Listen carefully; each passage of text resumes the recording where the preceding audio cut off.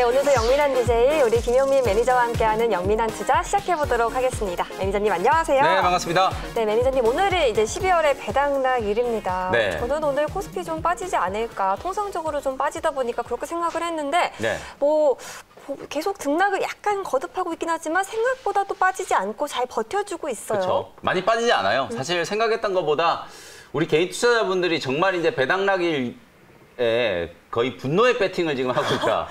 지난 이틀 동안에 어저께 이제 배당 기준일이었잖아요. 그리고 지난주 목요일도 우리 개인 투자자분들이 코스피 코스닥 양시장에서 정말로 많은 매도를 좀 하셨는데 오늘 지금 현재 시간 이제 1시가 조금 넘어가고 있는 지금 시점에서 코스피 코스닥 양시장에서 거의 2조 3천억 가까이를 매수를 하고 있거든요. 아마 하루에 순매수 규모 뭐 역대 최고치 기록을 아마 오늘 여유 있게 갈아치우지 않을까라는 네. 생각이 좀 들거든요. 많이 팔아놨다가 이제 어제 제가 말씀드렸던 것처럼 주주명부에 이제 이름이 올라가는 게 이제 싫은 거거든요. 그쵸. 어제 이제 뭐 주주명부에 올라가는 건 이제 다 지나갔고 그리고 양도세 이제 회피도 이제 이슈가 다 지나갔기 때문에 오늘 이제 매도했던 종목들을 대거 지금 다시 사들이고 있는 모습이다. 지난 이틀 동안에 낙폭이 좀 가장 컸었던 변동성이 좀 가장 컸었던 종목이 바로 제약바이오 업종이었는데요. 맞아요. 그만큼 이제 개인 투자자분들이 많이 갖고 계셨기 때문에 개인 투자자분들 매도 때문에 이제 주가가 많이 흘러내렸었는데 오늘은 뭐 그야말로 제약바이오 딱지만 붙어놓으면 그냥 다 올라가는 그런 시장이거든요. 셀트리온 헬스케어를 포함해가지고 뭐 중소형 제약바이오 종목들까지 워낙 지금 강한 흐름이 나타나고 있다 보니까 사실 그동안에 이제 코스피 지수가 2,800포인트 뚫으면서 사상 최고치를 이제 갱신하는 랠리가 나타날 때 코스닥 지수는 나름대로 조금 좀 소외되는 듯한 느낌이었는데 오늘은 이제 배당락 때문에 이제 코스피 시장이 조금 쉬어가는 와중에 코스닥 쪽이 상당히 좀 강력한 지금 상승이 좀 나타나고 있다. 제약바이오 종목을 필두로 최근에 이슈가 됐던 뭐 자율주행과 관련된 종목들도 다시 상승을 하고 있고요. IT 종목들도 오늘 약간은 뭐 차별화 흐름이 좀 나타나고 있- 있지만 전반적으로 이제 좋은 분위기고 그리고 2차 전지 관련된 종목들 LG 화학이 쉬니까 이제 삼성 SDI가 또 사상 최고가를 또 뛰어넘으면서 엄청나게 이제 급등을 하고 있거든요. 아마 지금 이런 시장의 분위기가 내년까지 분명히 좀 이어질 수 있다. 그래서 제가 올해를 마무리한다라고 생각하지 마시고 내년을 준비한다라는 생각으로 종목 대응을 좀 하시라는 부탁을 좀 드렸었잖아요. 여전히 좀 유효하다 이런 생각이 좀 들거든요. 다만 이제 일부 조금 과열이다라는 느낌이 좀 드는 종목들이 코스닥 시장에서는 뭐 셀트리온 헬스케어 대표적이고요. 코스피 시장에서는 뭐 LG전자, 그다음에 이제 DB 하이텍 이런 종목들은 약간 좀 과열이다 싶은 그런 느낌이 좀 있으니까요. 너무 추격 매수를 하시는 것보다 는 value chain과 이제 관련되어 있는 중소형 제약 바이오 종목들 또 JP모건 헬스케어 컨퍼런스 또 이슈가 있잖아요. 그런 종목들 쪽 선점한다라는 관점. 그다음에 DB 하이텍이 이제 주가가 올라가는 게 결국은 내년에도 이제 중국에 대한 제재가 계속 좀 지속될 수밖에 없다. 네. SMIC에 대한 이제 제재를 한다라고 하면 결국은 우리나라 이제 파운드리 관련된 기업들이 또 수혜를 입을 수 있고 삼성전자가 내년에 또 TSMC하고 지지율 지금 점유율 격차가 여전히 지금 38% 이상 나 있는 상태이기 때문에 이 점유율 격차를 추격하기 위해서 이제 파운드리에 대한 투자를 좀 많이 할 거거든요. 시스템 반도체와 관련된 종목들 아직 덜 올라간 종목들 쪽으로 여러분들이 종목을 잘 준비해 놓는 그런 이제 타이밍이다라고 생각을 하시면서 시장 네. 대응을 해보시면 좋을 것 같습니다. 네, 사실 올해 국내 증시는 단 2거래일밖에 남지 않았습니다. 이제 올해를 좀 잘 마무리하고 네. 내년 주도주에 집중을 해야겠지만요. 그럼에도 일부 과열된 종목들에 대해서는 좀 주의를 하시는 게 좋을 것 같다 네. 생각이 들고요. 그럼 이제 영민 매니저가 그동안 짚어주셨던 종목들 본격적으로 리뷰 가보 도록 하겠습니다. 네. 먼저 어제 언급해 주신 MC넥스부터 시작해 볼까요? 지금 뭐 제가 소개해드렸던 IT 종목들이요. 진짜 뭐 다 올라가는 건 아닌데 정말 많은 높은 확률로 거의 뭐 80% 90%의 그러니까요. 확률로 목표가 다 터치하고 급등이 나오고 있는 상황이거든요. 자율주행과 관련된 종목들도 미리미리 선점을 해가지고 이제 수익 챙길 종목들은 싹 수익 챙기고 다음 종목으로 지금 교체를 하고 있고요. 그 중에 이제 하나 또 새롭게 제가 자율주행과 관련된 수혜주로 이제 주목을 좀 해보자라고 이제 말씀드렸던 종목들이 MC넥스라는 종목이거든요. 오늘도 뭐 유니캐스트 또 이제 전고점을 지금 넘어가는 강한 흐름이 좀 나오고 있고 해성 DS 또 신고가 쳤잖아요. LG전자가 이제 장 초반에 또다시 이제 상승을 좀 하면서 관련된 종목들이 여전히 좀 좋은 흐름인데 MC넥스 단순히 스마트폰 카메라 모듈 관련된 종목으로 보시지는 않았으면 좋겠다라는 말씀 어제 강조를 좀 해드렸었죠. 이제 여러분들이 전장이라는 단어를 꼭 기억하셔야 돼요. 자동차가 이제 그냥 고철 덩어리가 아니라 하나의 큰 IT 제품이 될 거기 때문에 그 안에 들어가는 수많은 반도체들 그리고 디스플레이 그리고 전장 부품들 이런 것들이 이제 자율주행 시장이 개화가 되면서 분명히 이제 시장에서 좀 강하게 주목을 좀 받을 수 있는 이슈가 있거든요.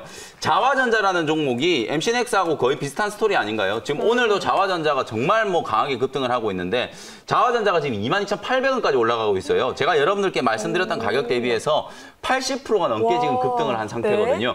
얘가 원래는 스마트폰 카메라 모듈을 생산하는 회사인데 거기에다가 PTC 히터라고 하는 전장 부품을 새롭게 이제 만들어낸다라고 하면서 주가가 이렇게 지금 올라가고 와, 있는 거란 네. 말이에요. 스토리가 이제 거의 비슷하다라고 보시면 엠스넥스 역시도 카메라 모듈 작년에 영업이익이 무려 천억이 넘었었고 올해 이제 상반기 때 뭐 코로나19 때문에 스마트폰 오팡이 좀 좋지 않았었기 때문에 실적은 뭐 기대한 거에 비해서는 조금 못 미치지만 네. 내년에 또다시 이제 천억 이상 그리고 내 후년에는 거의 1,500억에 육박하는 영업이익을 이제 기록을 할 걸로 기대가 좀 되고 있고 거기에다가 전장에 들어가는 이제 카메라 모듈 자동차가 이제 모든 사물을 인식하려면 레이더라든지 라이다와 같은 이런 센서 그리고 이제 카메라 모듈들이 가장 핵심 중에 핵심 부품이 될 거거든요.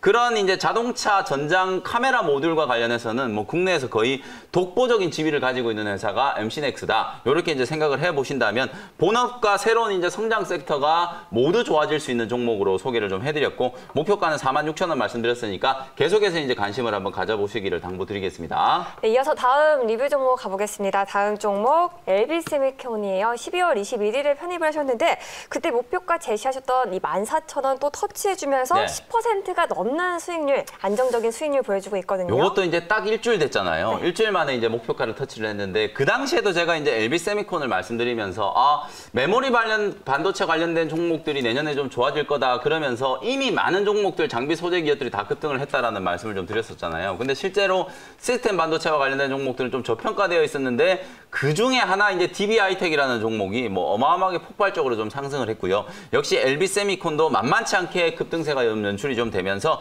오늘 14,000원 목표가 터치를 했거든요. 사실 이제 일주일 전에 여러분들께 이제 소개를 해드릴 때 주가가 이렇게 이제 뚫고 올라가는 발산이 좀 시작되는 자리였거든요. 박스권 상단을 좀 뚫어놓은 자리이기 때문에 오히려 요즘의 IT 종목들의 특징은 주저앉아 있는 종목들보다는 추세가 이렇게 살아있는 종목들이 좀 좋다라는 말씀을 좀 드렸었는데 하루 이틀 정도 좀 누르는 흐름이 좀 나오다가 그 뒤부터 아주 강하게 상승을 하면서 오늘 목표가를 시원하게 잘 터치를 했고요. 절반 정도는 수익을 조금 챙기시고 나머지 절반 정도는 조금 더 올라간다라고 하면 뭐 한 14,800원 정도 수익 극대화 관점으로 대응을 한번 해보시면 좋을 것 같습니다. 네, 이어서 다음 리뷰 종목 바로 가보도록 하겠습니다. 캐시텍입니다, 매니저님. 24일에 언급을 해주셨거든요. 네. 사실 우리가 어제도 리뷰를 한 종목인데 또 네. 들고 나오셨어요. 장비 종목들 중에서 여러분들이 이제 내년에 반도체 관련된 시장이 좋다라는 얘기를 워낙 많이 들으셔가지고 막 이 종목 저 종목 여러분 다들 많이들 다 관심을 좀 가지실 거예요. 근데 제가 KC텍이라는 종목도 지난 주 목요일이었죠. 크리스마스 이브 날 여러분들께 맞아요. 소개를 해드렸던 종목인데 이 회사가 이제 어제 오늘 이틀 동안에 딱 전고점 넘어가면서 3만 원대를 지금 뚫고 있잖아요. 수익이 뭐 많이 난 건 아닌데 왜 제가 어제도 그렇고 오늘도 그렇고 이 종목을 좀 리뷰를 해드리냐면 장비 종목들 중에서도 올라가는 이제 스타일을 여러분들이 따져보시면 아무 종목이나 다 반도체 종목들이 다 올라가는 건 절대로 아니에요. 지금 전공정 장비 중에 여러분들이 잘 아시는 원익 IPS, 유진테크, 테스 이런 종목들이 정말 불을 뿜으면서 상승을 한번 했다가 최근에는 아주 좀 지루하게 매물 소화 과정을 좀 거치고 있잖아요. 결국에는 메모리 업황이 이제 좋아진다라고 했을 경우에는 장비 쪽보다는 소재 쪽이 훨씬 더 좀 중요하고 그리고 실제로 이제 장비 중에서도 내년에 이제 새롭게 도입될 만한 이슈가 많은 종목들 위주로 움직인다라는 게 지금 시장의 이제 트렌드라고 생각하시면 되거든요. KC텍이라는 종목은 이제 반도체 CMP 장비 뭐 세정이라든지 식각이라든지 이런 것과 이제 관련되어 있는 장비를 만들고 또 가장 좀 중요한 게 소재 반도체 쪽 슬러리 소재를 이제 생산하는 회사가 바로 이제 KC텍이라고 말씀드렸었죠. 실적이 내년에 상당히 좀 좋아질 수 있는 개연성이 좀 높은 그런 회사이기 때문에 주가가 다소 좀 올라와 있더라도 오히려 신고가 자리에서 트레이딩 관점으로 좀 공략을 좀 해보자라고 말씀드렸었죠. 목표 가격은 3만 원 정도, 3만 3천 원 정도 제가 짧게 한 10에서 12% 정도 트레이딩 관점으로 말씀을 좀 드린 종목이니까 다음 주에 시원하게 목표가를 한번 터치를 해줄 수 있을지 기대를 한번 해보겠습니다. 네, 여기까지 우리 매니저님의 종목 리뷰 잘 들어봤고요. 바로 네. 문자 사연 시간으로 넘어가 보도록 네. 하겠습니다. 오늘의 첫 번째 사연 열어볼까요? 8732님의 사연이네요. 피플바이오입니다. 피플바이오 네. 55,030원의 비중은 30%인데 걱정이 큽니다라고 하셨어요.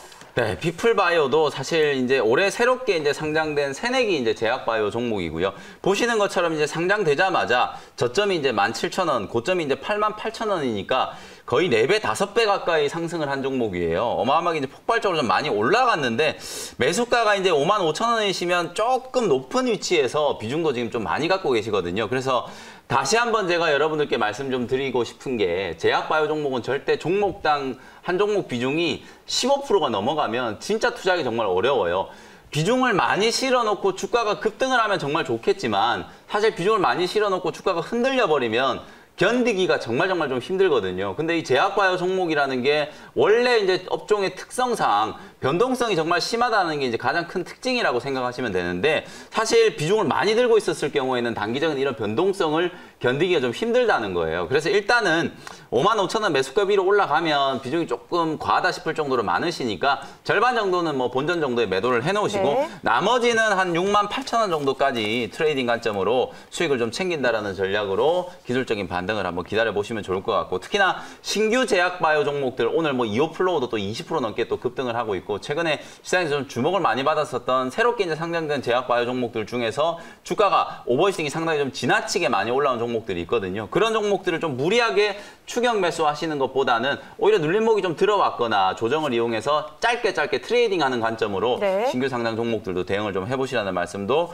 덧붙여 드리도록 하겠습니다. 네, 이어서 두 번째 사연 바로 가볼게요, 매니저님. 0628님 사연이고요. 네. 일진 머티리얼즈 5만 3천 원의 비중 30%인데 향후 전망 궁금하다고 네. 하셨어요. 아, 일진 머트리얼즈도 사실 전기차 소재 종목들은 진짜 많이 올라왔잖아요. 네. LNF라든지 에코프로 BM이라든지 포스코 케미칼이라든지 양극재를 만드는 2차 전지 관련된 종목들은 그야말로 뭐 역사적인 신고가 랠리가 좀 나타나면서 상당히 많이 올라왔어요. 근데 조금 이제 뒤쳐져 있는 종목 중에 이제 동박과 관련된 일진 머트리얼즈라는 종목이 있거든요. 사실 요 종목은 이제 증설이 조금 늦어지면서 시장에서 조금 이제 부침을 좀 겪었었고 기대했던 것만큼 이제 실적이 잘 나오지를 않고 있다 보니까 주가도 이제 조금 조정을 좀 받은 상황이었거든요. 근데 이제 11월이 넘어가면서부터 일진 머트리얼즈도 추세가 좀 회복되고 있는 상황이고 내년에도 뭐 동박 시장은 워낙 좀 좋을 걸로 그렇게 예상이 좀 되고 있는 상황이거든요. 우리나라 이제 동박 관련된 종목 뭐 대표적으로 SKC라든지 일진 머트리얼즈 같은 이런 종목들을 여러분들 이제 떠올리시면 되는데 뭐 두 종목 다 내년에도 저는 투자가 좀 유망한 그런 종목이라는 생각이 좀 들거든요.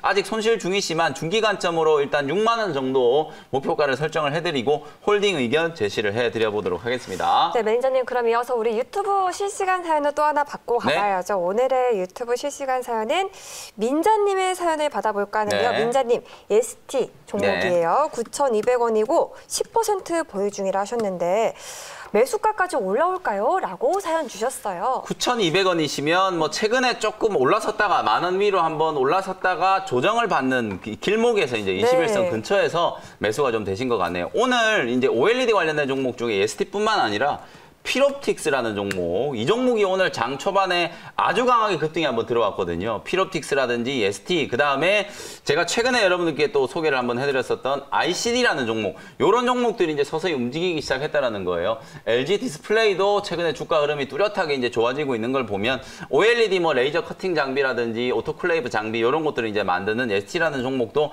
시장에 이제 주목을 한번 받을 때는 됐다라는 생각이 좀 들거든요. 저점은 오늘 잘 찍고 가격 반등이 좀 들어오고 있는 상황이니까 요. 일단 1차적인 목표 가격은 1,300원 정도까지 trading 관점으로 대응을 한번 해보시면 좋을 것 같습니다. 네, 그러면 저희 영민한 투자 문자 사연 오늘 여기까지 들어보고요. 우리 영민 DJ가 알차게 준비한 첫 번째 원샷원길 종목 소개 가볼게요. 네, 24,300원에 PNT라는 종목을 편입을 한번 해보도록 하겠습니다. 네. 여러분들이 잘 아시는 이제 2차 전지와 관련된 이제 수혜주라고 생각하시면 되는데 오늘은 LG화학보다는 삼성 SDI가 시장에 이제 주목을 좀 받고 있어요. 삼성 SDI가 오늘 장중에 7% 넘게 이제 급등을 하면서 아주 좋은 흐름이 나타나고 있는데 앞서도 제가 이제 종목 일진 머티리얼즈 얘기를 할 때도 잠깐 언급드렸던 것처럼 양극재 소재를 만드는 기업들은 뭐 제가 말씀드렸던 종목들 포함해서 거의 대부분의 종목들이 신고가 랠리 내지는 52주 신고가를 다 기록을 했어요. 근데 장비를 만드는 종목들은 지난 이제 8월, 9월 달에 이제 고점을 만들고 P&E 솔루션이라든지 PNT라든지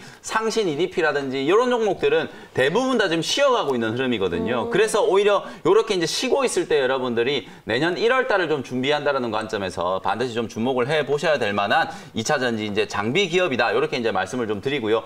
요 회사는 2차 전지 이제 롤트롤 장비 국내 점유율 1등 회사라고 생각하시면 되고요. 2차 전지와 관련된 종목들의 대부분 이제 PR이 한 25배에서 30배, 네. 많게는 지금 40배가 넘어가는 종목들도 있어요. 근데 PNT는 올해도 이제 영업이익이 거의 뭐한 최소한 330억에서 350억 정도 지금 나올 걸로 예상되고 있는데 시가총액은 지금 5천억 한 중후, 중후반 정도거든요. 그러면 다른 2차 전지 종목들에 비하면 훨씬 지금 저평가되어 있다라고 볼수 네, 있어요. 그랬을까요? 그리고 실제로 이제 내년에도 네. 실적이 이제 좋아진다는 걸 감안하면은 지금 정도 시점에서는 충분히 여러분들 공략을 한번 해볼 수 있는 부분이고요.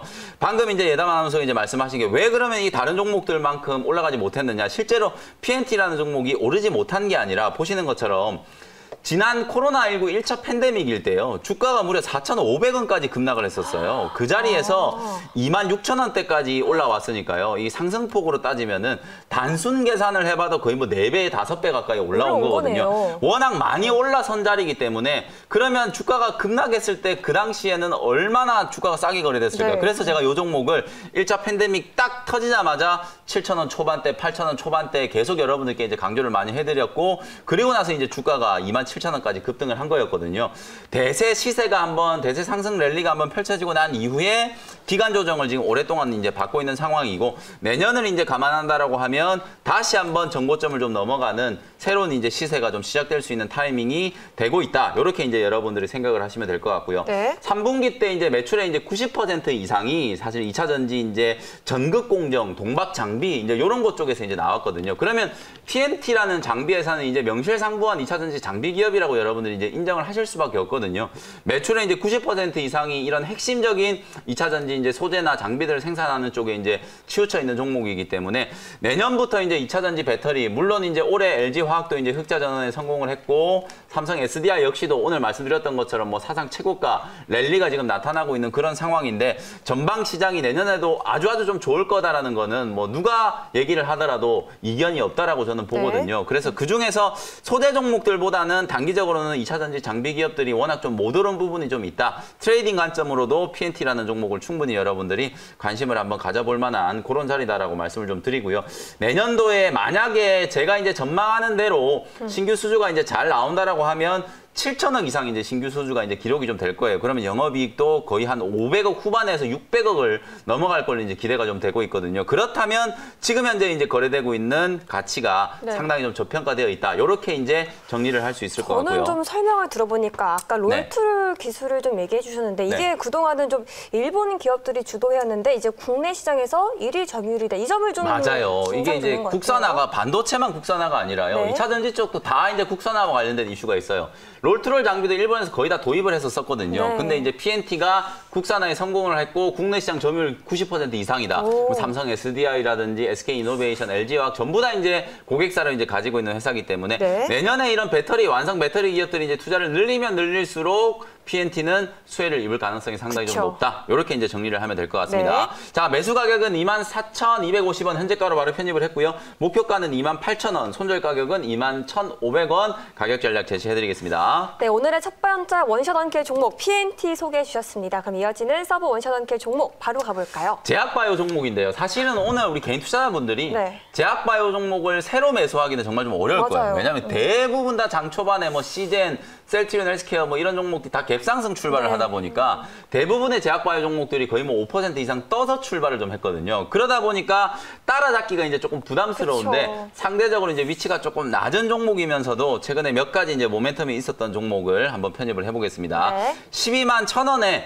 제넥신이라는 종목을 현재가로 바로 편입을 한번 해보도록 하겠습니다. 네. 제넥신 뭐 대한민국에 주식 투자하시는 분들이라면 뭐 거의 대부분 다 알고 계실 거예요. 근데 요 회사를 이제 코로나19 백신을 개발하는 회사로 잘 알고 계시는 분들이 많은데 원래 제넥신이라는 회사는 그야말로 이 면역 치료제 쪽에서 대한민국을 이제 대표할 만한 회사라고 보시면 되거든요.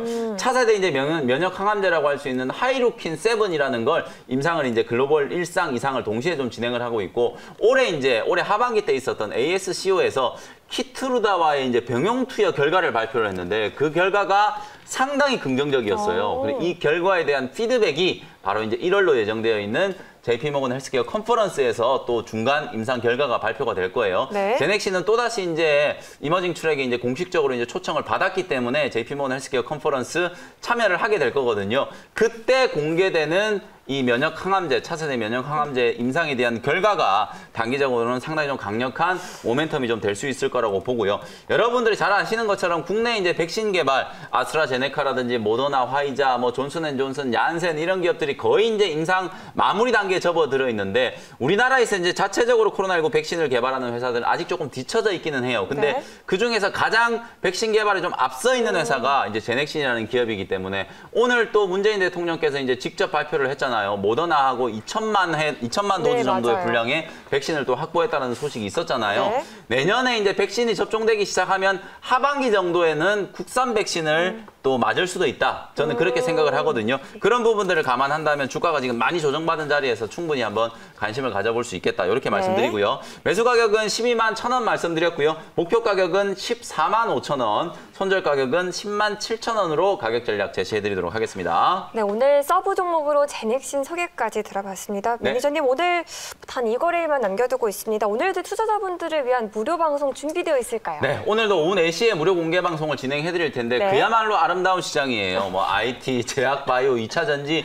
줄줄이 다 지금 수익이 네. 나오고 있는 상황이거든요. 하루가 멀다 하고 지금 매일매일 이제 수익 실현을 하고 있는 상황인데 과연 여러분들이 이 시점에서 지금 시장의 수익과 조금 동떨어져 있다라는 느낌이 좀 드시는 분들은 내년 1월 달을 준비하시면 되거든요. 네. 1월을 준비하기 위한 업종에 대한 전략, 종목 전략 말씀드리도록 할 테니까 4시 무료 공개 방송 많이들 참석해 주시면 좋을 것 같습니다. 네, 알겠습니다. 그러면 오늘 매니저님 말씀은 여기까지 듣겠습니다. 매니저님 오늘도 고맙습니다. 네, 감사합니다.